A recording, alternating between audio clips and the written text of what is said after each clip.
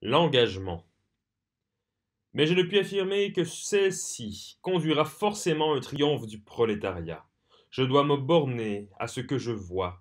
Je ne puis être sûr que des camarades de lutte reprendront mon travail après ma mort pour le porter à un maximum de perfection.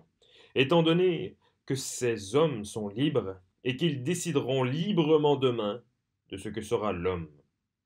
Demain, après ma mort, des hommes peuvent décider d'établir le fascisme, et les autres peuvent être assez lâches et désemparés pour les laisser faire.